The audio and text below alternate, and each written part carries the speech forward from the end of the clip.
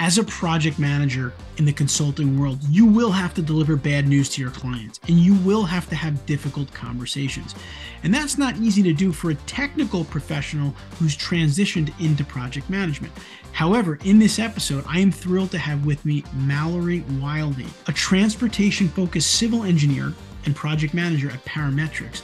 And Mallory's going to talk about how she made that transition and she was able to get better at having some of those tough conversations, which has helped her to deliver high value to Parametrix clients. Let's jump right in.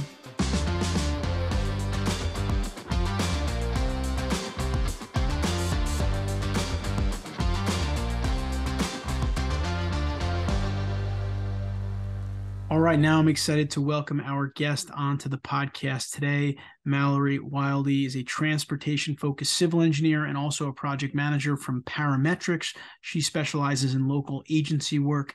Mallory, welcome to the Engineering Project Management Podcast. Hey, Anthony, thanks for having me.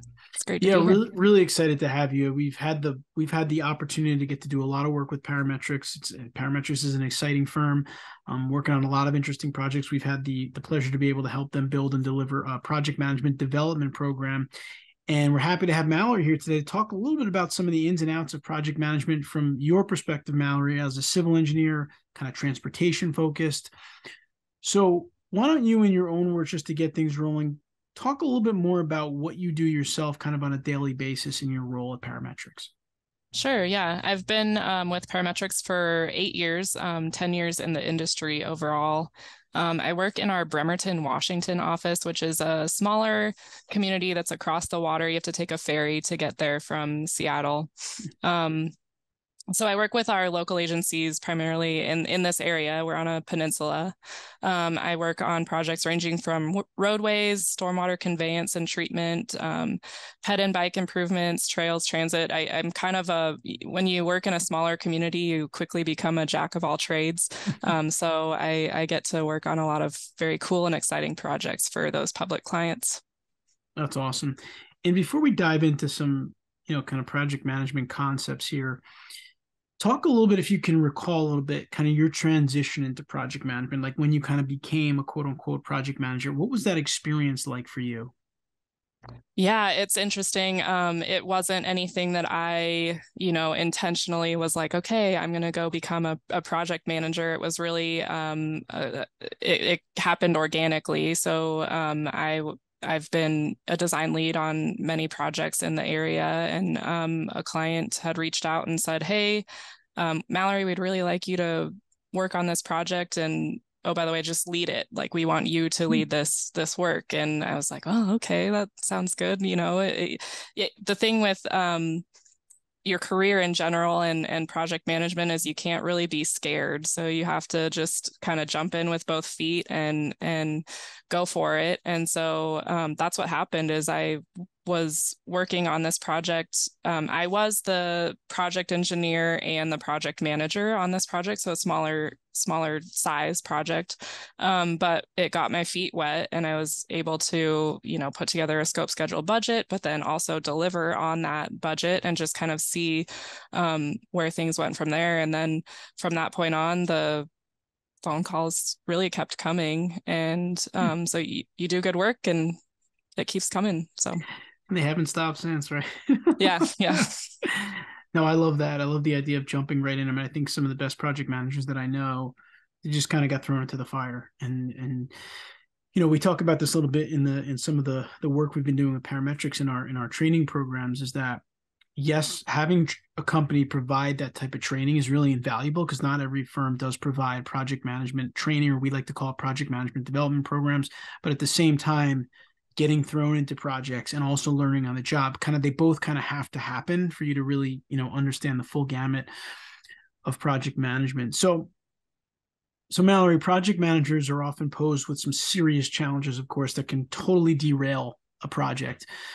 Based on your experience so far what would you say is kind of the biggest key to success in project management For me, my biggest key to success has just been bringing my genuine self to each project and um, to the to the client. So having that ability to be open and honest with your with your team and with your client is key to getting buy-in um, from the project and and the team early on, um, so that you can deliver successfully on that that scope, schedule, budget that you put together from the outset. So it also helps, and and we'll probably get into this later, but it also helps when you're having diff- if you need to have a difficult conversation mm. with a client um, if you've got that rapport with with your team and your and your client you can really um, just keep going on that and build on that from from the outset. So.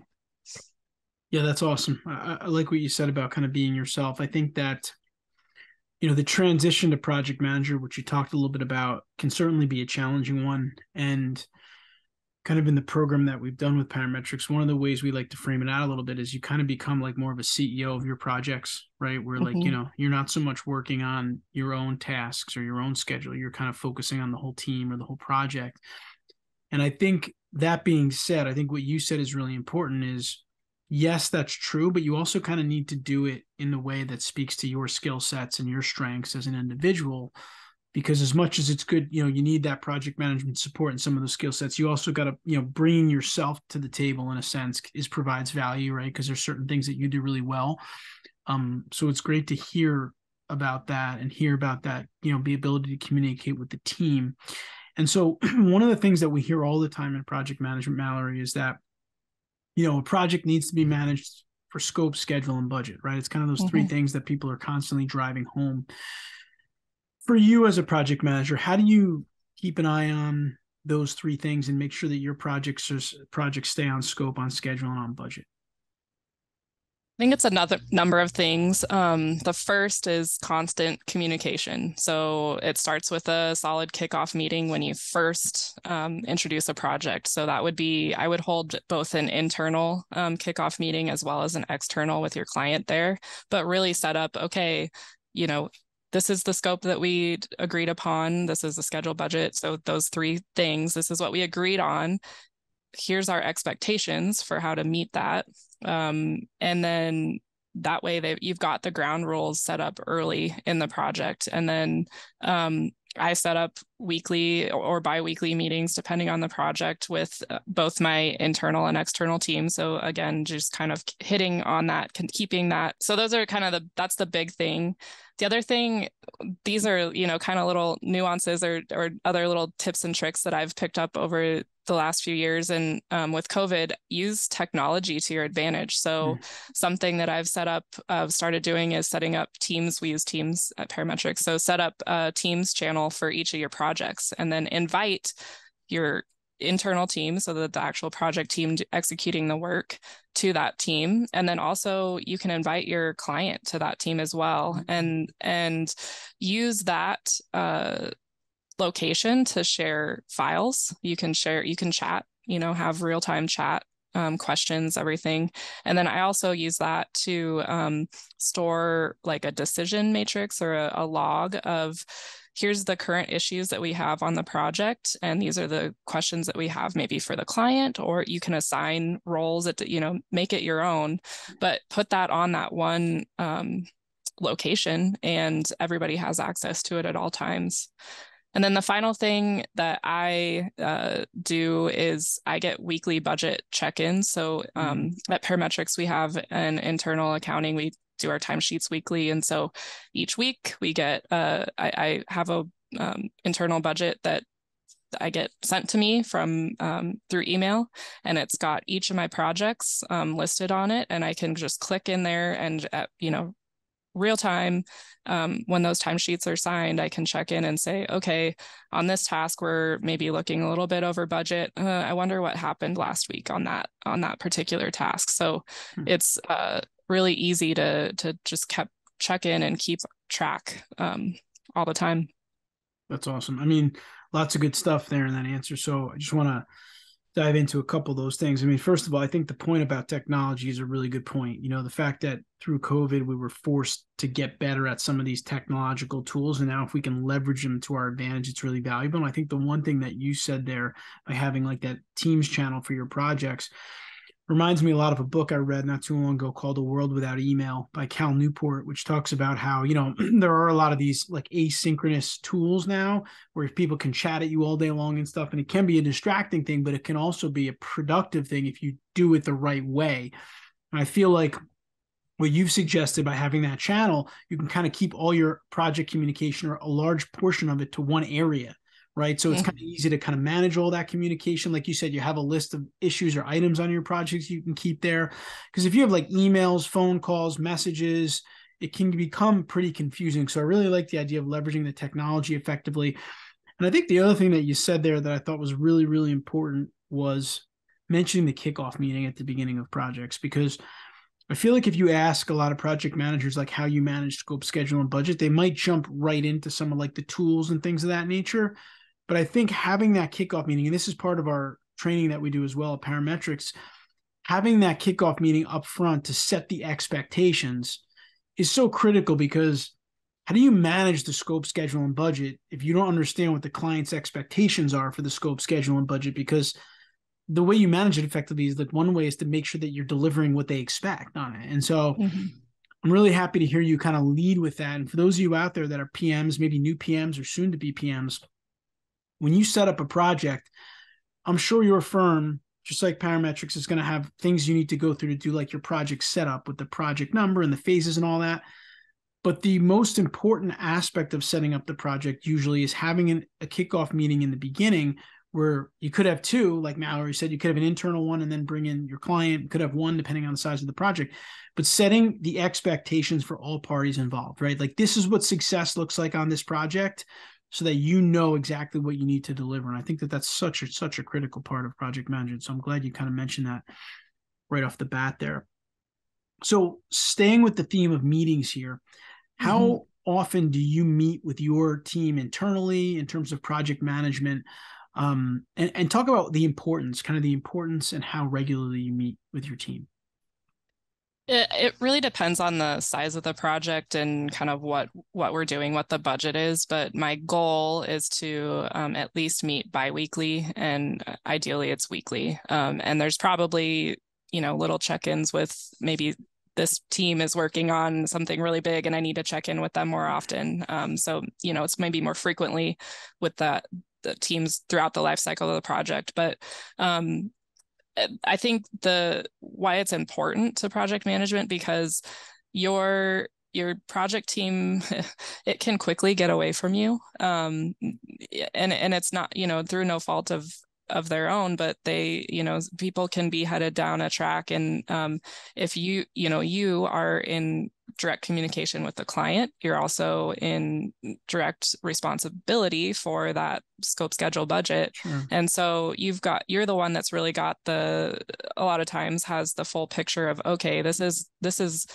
the the goal we're headed towards and um, sometimes folks can kind of get off off track a little bit. So I think that's really the big thing is just making sure that uh, you you check in regularly so that everybody keeps head heading towards the same mission, the same goal. Um, go back to that kickoff meeting. What were you what were you set out to do in the first place? So yeah, no, that's great. Like setting the tone from the beginning. And you're right. Like as the PM, you're going to kind of have a lot of that information in your own head that you're talking with clients, you're communicating with clients. So the ability to be able to get that information to the team is so important. And this is also something we talk about in the training. If you're not communicating that to your team and they start working on things that are outside of the scope of work or whatever the case may be, that's where you can run into some big challenges in terms of project management. So that having that regular form when you can get everything out that your team needs to be aware of, I think is is really important.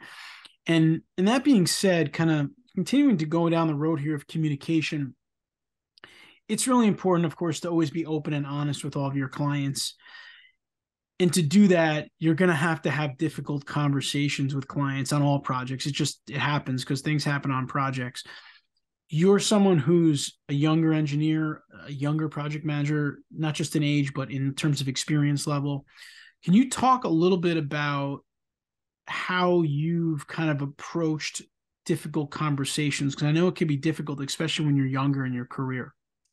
Yeah, and it it it changes over time and it changes with each conversation that you've had and you maybe like pick up little techniques and tricks uh, as time goes on. But um really going back to that honesty thing so if if you've been upfront and honest with your client from the beginning you've been truthful you know they've they've got that understanding that okay like you're not going to you know blow a bunch of smoke then then it makes it easier when you have when you do run into an issue and you do have to bring that that issue up, they at least know, okay, you know, Mallory's not, she's not trying to pass one by me. Um, right. We really are having an, an honest conversation. And, and so, yeah, I think if you just kind of start from the beginning, um, being yourself and being honest, it, it will make the conversation a little bit less painful. Not 100% all the time, but.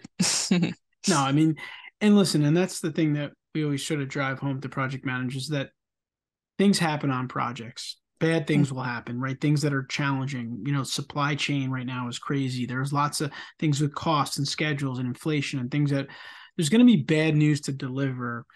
And i think that what happens a lot for project managers especially newer project managers that just like anyone else they want to succeed they want to do good on their first couple of projects it's easy to want to be that person who says yes, yes, yes, yes, yes. You know, like yes, this will work. Yes, we can get it done on time. Yes, there's no problems here.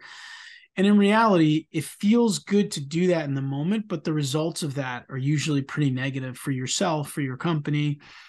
And so I kind of found in my own experience, like the first few times you do it, it's kind of like ripping the band aid off. Like you have to just kind of say, this is bad news, and I have to tell you what it is. But like Mallory said, I think the more you do it, the more comfortable you become. And not just because you get more comfortable with it, but you start to realize that the client ultimately just wants you to tell them the truth. I mean, right? It's like their money, it's their bottom line, it's their project, it's their property, whatever the case may be.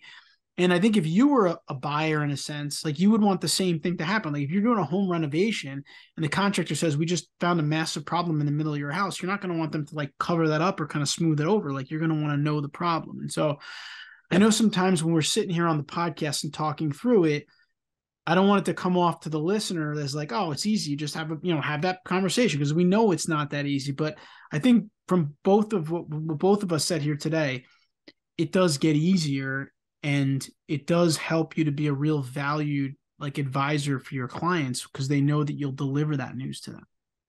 Yeah, there's been uh, two things. There's been a couple of things that have uh, kind of hitting on your points that have stuck with me through my career. And and one is you can't fake experience. So mm-hmm. and and when I was you know younger in my career, I was like, eh, you guys are crazy. I I can figure this out. But the reality is is that no, you you can't fake experience. It just it, there there's just things that you pick up over time. Um, and then yeah, the other thing is is put put yourself being being able to have empathy and and really put yourself into everybody else's shoes whether that's the client or that's your drafter. Um, put yourself into those that that person's shoes and really understand okay where are they coming from when they're when they're doing this action? And and being able to do that you'll really get a lot farther in the conversation yeah, no, so, that's, that's that last point is a good one, and also not hard to do. But I mean, if you take the time to sit down and say, I have to think about it from the client's perspective for five ten minutes here and just think about what they're going through. It can help you inform your approach at least, right? Mm-hmm. And I think also to Mallory's point, like when you go through these experiences, you kind of need to reflect on them because this is like your Uh, this is like the way you can become better, right? Like if you don't do a good job early in your career because you feel like, hey, I know how to deal with this, and something happens, at least try to take note of it and understand what worked and what didn't work, and maybe what you could have did better next time, because that's really the only way you can improve. And you know, listen, I think, and I'll mention it again. I think the way to develop great project managers in a firm is to do a blend of yes, you should hopefully have some kind of developmental program that you, they can go through so they can learn some of the, the strategies, the concepts, some knowledge sharing, but also give them the opportunity to manage projects at a young age or at least get involved in some project management tasks, even there if they're not the actual project manager, because it's really the combination of two things, those two things that make for a great project manager. Um, whereas just one without the other, it kind of leaves a lot to be desired by by that PM potentially. All right, so as project managers, Mallory, we kind of always want to take on more work, right? It's really hard for us to say no, we're too busy, but it's just not possible. I mean, we only have so much time in the day that we're able to, you know, keep adding more tasks to our day. So, how do you know when kind of to say no, like how you when you know your workload is just too much, and and how can you do that in a way as a project manager that you're not, you know, coming off as like rude or you know someone who's not looking to like help out? This has been a really uh, hard lesson for me to learn, and uh, I've had to learn it. I've so I'm I'm a new mom. I have a nine month old son, oh, and so thank you. And and so that honestly has been the the kicker to hey, there's only so many times in the day. And by the way, you've got to go pick up at daycare before they close, or you're going to get charged a ton of money. And so, um, yeah, really, there's there's only so much you can do as a PM and um, deliver great client service. So I think client service being one of the one of my own personal core values and also a big um, thing here at Parametrix is mm. um, delivering great projects and and doing it well.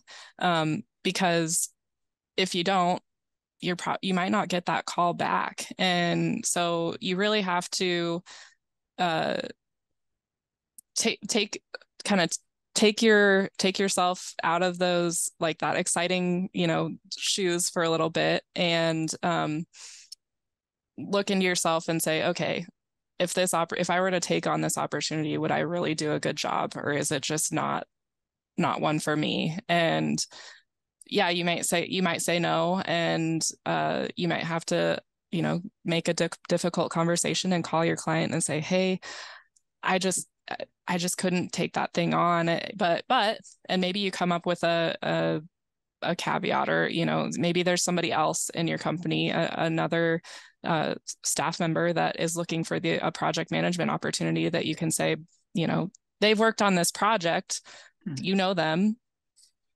they can take on this PM PM role for you. So I don't know. There's ways you can go around it, but um, yeah, you definitely have to uh, put boundaries on on yourself in your career to to show up and be your best self too. So yeah, I mean, I couldn't agree with you more. And I think the example that you gave around the daycare is a good one, just because I think when we have some of these other things that are important to us in life that force us to understand that, you know, work isn't the only thing that exists for us. And quite frankly, I don't think a company wants that to be the case either, because like you said, you know, someone you you go to work and you go home, but you're still the same person. So like you need to be able to kind of have all those different components of your life. And I found the same thing as you. When you have some of those external responsibilities, it's helpful for you to really get more focused at work and maybe be more intentional and even, you know, not that I'm crazy about the word productive, but in this case, maybe it makes sense. But like for me, even one time a couple of summers ago, we went to visit my in-laws and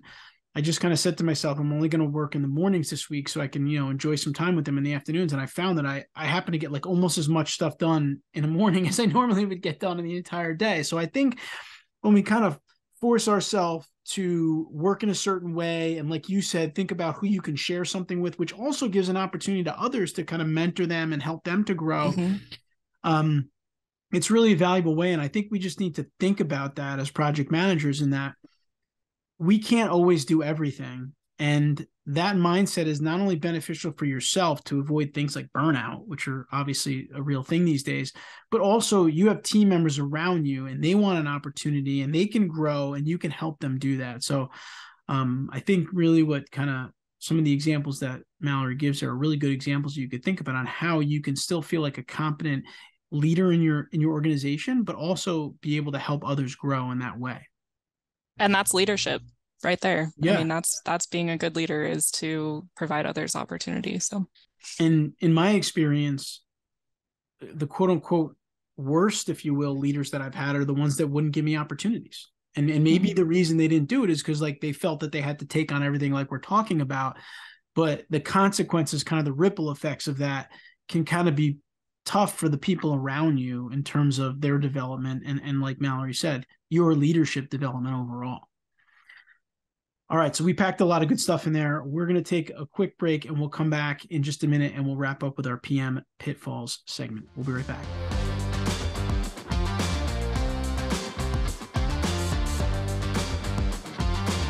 All right, we are back with Mallory Wilde. Mallory is a transportation focused civil engineer and project manager at Parametrix. We've had the opportunity at EMI to do a lot of work with Parametrix on building a PM development program with various levels. And we've kind of covered a lot of the topics that we talk about in, in the training program here with Mallory so far. But Mallory, now I'm going to mm-hmm. throw one last question at you here. This is our PM pitfall segment. What is the biggest project management pitfall that you've identified or challenge that you've seen or experienced? And how might you help some of the PMs out there dealing with it either overcome it um, in their in their project management efforts? Yeah, when when I was thinking about this question, I think the biggest thing for me is, you know, I was looking back at okay, which which PMs have I worked with that have been really easy to work with and that I've enjoyed working with and and that I I want to do good work for, and then which PMs have I worked with that I'm like, eh, I don't know if I'd ever do another project with them, and that the commonality between them is uh, really finding that PM that's approachable. So um, being somebody that if you are running into an issue you can they can you can go to them and and ask them questions and don't feel like they're um you know I, I use the word know it all but uh, mm-hmm. a lot of times as PMs we're not necessarily the technical experts on our our projects we're just the ones that are you know managing the overall work and so um being able to trust in your team and trust that they do have the right answer and do um, you know know where things are going is a really big um, thing in in success in my mind as a PM. So um, having a little bit of humility will will go a long way. Um, I, I just think that'll really get a lot of a lot better success for buy-in from your teams um, so that you can you know continue going to that sol- solving the mission. Yeah. No, I mean, I think the whole idea of being approachable as a project manager is so important because I think what happens in a lot of consulting firms that we work with or that I've seen is that a project manager can be very intimidating for someone on the project manager's team, right? Because you're so busy, I can't bother you, you're billable, you're dealing with clients. And the challenge with that mindset is that then there's a situation where they're not going to develop as much as they need to because they're not going to ask the right questions and i feel like that's never something that we want to have happen as leaders and we never want to discourage that and you've kind of you've kind of made mention of that a few times already today throughout throughout our episode here and so i really like the idea of thinking about how you can be someone who's you know humble open kind sharing and just approachable i think is really the best way to say it because I even tell my team members, especially if there's a new team member at EMI, I'll try to tell them, like, listen, in the beginning, if you feel like you need to ask whatever questions you need to ask, I welcome them. And I sometimes even say, I'll be, I might be a little bit worried if I'm not getting a lot of questions from you in the beginning, because I feel like you got to like put someone at ease so they feel, mm-hmm. oh, this is good. You know, Anthony's open to me asking him a question. Because if you think about it, if they don't ask you a question and then they go off on a tangent on a project for 10, 15, 20 hours, I mean, not only does that hurt the project, but again, the result of that is their confidence might have to be built back up, which is something that is not easy to do and takes a lot of time. So, well, and it's a reflection on it'll end up as a reflection on you, right? You, yeah. if they go off on a tangent for 20 hours, where does that time go? Are, are you going to charge that all to the client? I don't think so. Exactly. Um, so, so what, you know, what happens there? Um, I, I think it's important to, to be, you know, there is no there there is no dumb question and yep.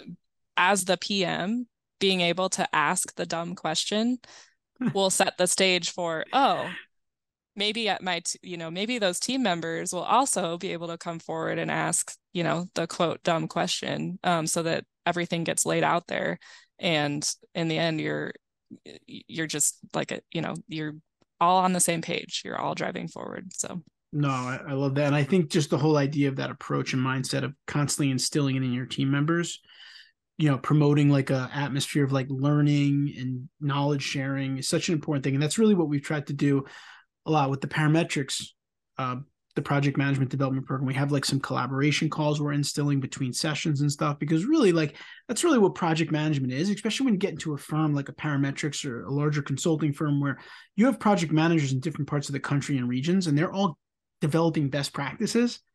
And if they can share them with the rest of the pms like one tip like maybe mallory can give someone else can save that person so much time on their projects or make them have better client relationships so I think that's one of the things too that's really just important to think about as you're approachable and as you're helping teams grow, that knowledge, the more you can share that, just the more beneficial it's going to be for everybody. So Mallory, I thank you so much for taking some time out of your busy day to come on the podcast and share some of your experiences as a project manager so far. Thank you so much. Yeah, thanks for having me. It's been great. All right. So, once again, that's Mallory Wilde from Parametrix. You can check out Parametrix website at parametrix.com. They are a consulting firm that has done a lot of really high profile projects, have won a lot of awards, and they have a lot of career opportunities available for you now. So, again, you can check them out at parametrix.com.